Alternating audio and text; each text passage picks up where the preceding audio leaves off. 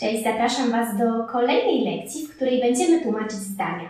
Jednak dzisiejsze tłumaczenie zdań będzie w trochę innej formie niż zwykle. Dzisiaj będziemy tłumaczyć zdania z języka niemieckiego na język polski. To pierwsza sprawa, a druga sprawa to taka, że w każdym z tych zdań pojawi się jeden czasownik, ale w tak wielu różnych znaczeniach. E, dzisiejsze zdania będą zdaniami z czasownikiem einnehmen, czasownikiem rozdzielnie złożonym. Zerknijcie na nie. Sie war krank, deshalb musste sie eine Tablette einnehmen. Das Regal in meinem Zimmer nimmt zu viel Platz ein.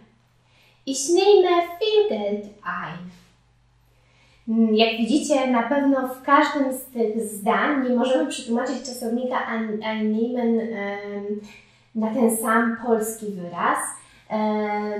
I w pierwszym zdaniu czasownik einnehmen będzie miał inne znaczenie, w drugim zdaniu także i w trzecim również. Spróbujcie przetłumaczyć te zdania. Mm, może uda Wam się przetłumaczyć czasownik einnehmen z kontekstu, może po prostu znacie te znaczenia czasownika einnehmen. Teraz zróbmy to wspólnie. E, w pierwszym zdaniu sie war krank, deshalb musste sie eine Tablette einnehmen. Einnehmen oznacza przyjmować.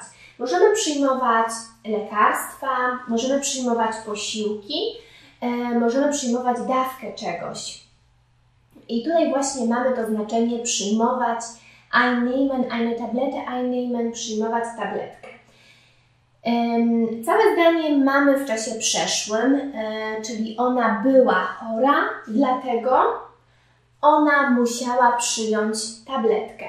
E, tutaj mamy zdanie w czasie przeszłym z czasownikiem modalnym, e, dlatego na końcu drugi czasownik, czyli właśnie czasownik einnehmen, znajduje się w bezokoliczniku. Drugie zdanie. Das Regal in meinem Zimmer nimmt zu viel Platz ein.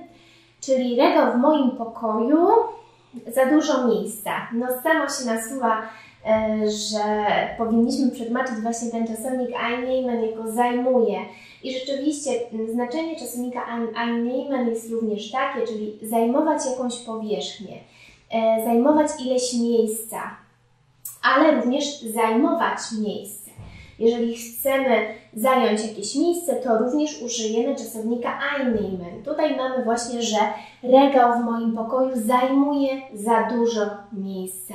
Czyli einnehmen właśnie jako zajmować, że coś zajmuje ileś miejsca, albo że ja zajmuję jakieś miejsce.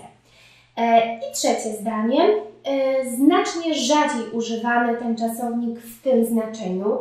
Ich nehme viel Geld ein, czyli zarabiam dużo pieniędzy. E, tutaj zdecydowanie e, korzystamy z czasownika verdienen, czyli zarabiać, ich verdiene viel ja zarabiam dużo pieniędzy.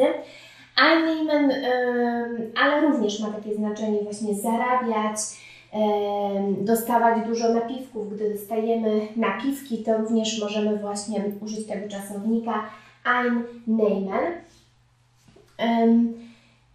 Koniecznie dajcie znać, czy udało Wam się przetłumaczyć te zdania z czasownikiem einnehmen i czy e, stwierdziliście znaczenie tych czasowników z kontekstu, czy już znaliście e, właśnie te wszystkie znaczenia czasownika rozdzielnie złożonego einnehmen. Do zobaczenia.